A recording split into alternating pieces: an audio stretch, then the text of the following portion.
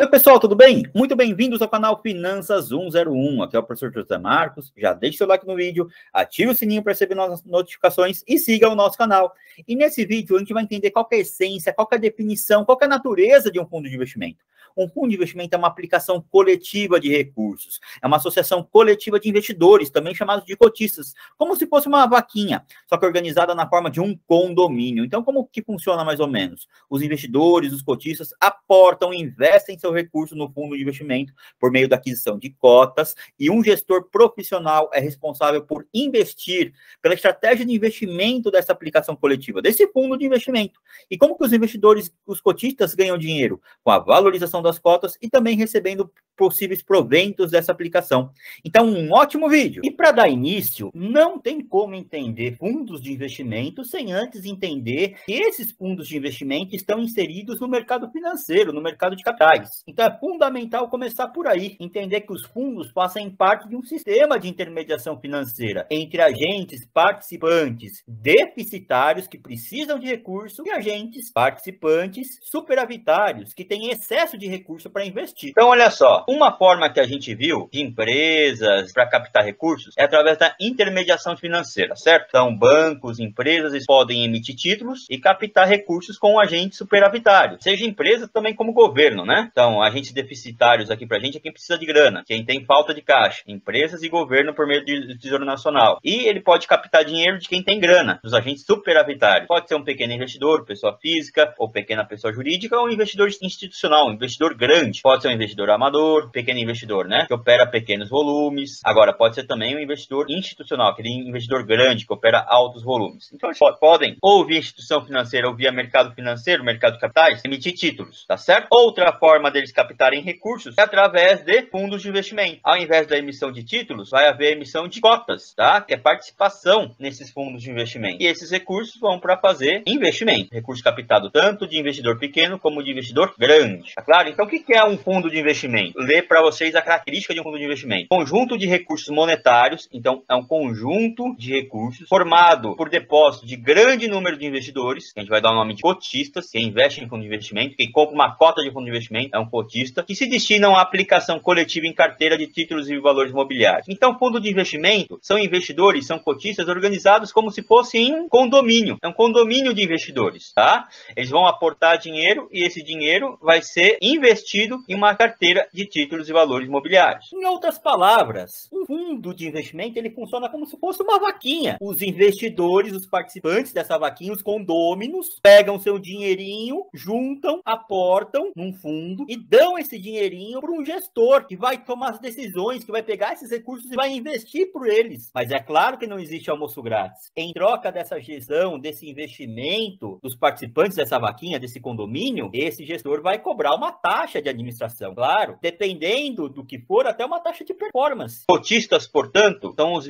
investidores do fundo, certo? Cada investidor compra uma cota, por isso que é o nome de cotista. O que é uma cota? É uma fração, é uma parcela do patrimônio líquido do PL do fundo. Então, assim como para uma empresa, quando a gente compra uma ação, a gente está comprando uma fraçãozinha mínima do patrimônio líquido do PL, do equity dessa empresa, da mesma forma, quando a gente compra uma cota para um fundo de investimento, a gente está comprando uma fraçãozinha do equity, do PL, do patrimônio líquido desse fundo, beleza? Quem geralmente administra os fundos de investimento? Geralmente são instituições financeiras, certo? Ela que vai assumir a responsabilidade aí pelos serviços prestados no fundo. E a administração financeira, ela mesma, ela pode gerir o fundo, gerir o investimento, gerir a carteira, ou ela pode terceirizar isso para um gestor profissional, tá claro? Então a gente tem o papel do administrador, quem é responsável pelo funcionamento do fundo, a gente tem o papel do gestor. Podem ser as mesmas entidades? Podem, tá certo? E todo fundo de investimento tem um regulamento, tem um estatuto que diz as regras, tanto de remuneração das taxas cobradas, como também de aplicação dos investimentos. Se pode entrar, se pode, quando pode sair, se tem liquidez, não tem liquidez, tá certo? Vai mostrar todas as características do fundo aqui, o estatuto. E os fundos de investimento são sempre PJs independentes, são constituídos como uma forma de pessoa jurídica independente. E, portanto, cada fundo terá o seu próprio CNPJ. Novamente, cada fundo tem o seu próprio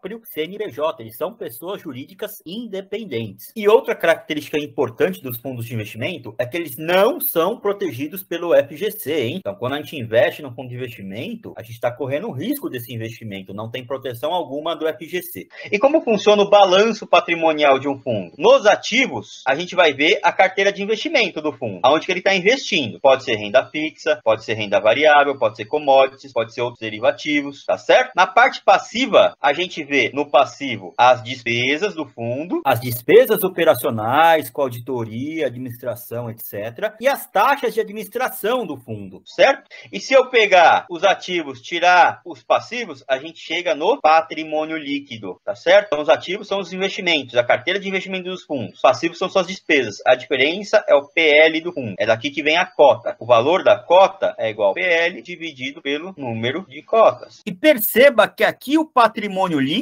e, portanto, as cotas representativas desse patrimônio líquido já estão líquidas ou líquidos das taxas de administração, das taxas de performance e outras taxas que podem haver no fundo. Então, o valor da cota que é apresentado para os investidores, para os cotistas, para o mercado, ela já vem líquida, ela já vem deduzida, descontada da taxa de administração e das outras taxas que podem ocorrer, que podem haver aí no fundo. Lembrando que patrimônio líquido, pessoal, ativos menos passivos, tá? Como as taxas entram dentro dos passivos, o patrimônio líquido, ou seja, o valor das cotas, consequentemente a rentabilidade apresentada para o cotista, para o investidor, para o mercado como um todo, já vem líquida das taxas, tá legal? A única coisa que não está abatida aqui é o imposto de renda, mas quando a gente olha o valor da cota, o retorno já está líquido sim das taxas de administração, taxa de performance, dentre outras. É isso aí, pessoal. Espero que vocês tenham entendido a definição, qual é a essência de um fundo de investimento, que é uma associação coletiva de investidores, de cotistas. Como se fosse uma vaquinha, os investidores aportam seu dinheiro no fundo e um gestor profissional vai tomar a melhor decisão possível do que fazer com esse recurso. Então, se você gostou, já deixe seu like no vídeo, ative o sininho para receber nossas notificações e siga o nosso canal. Até mais, tchau, tchau!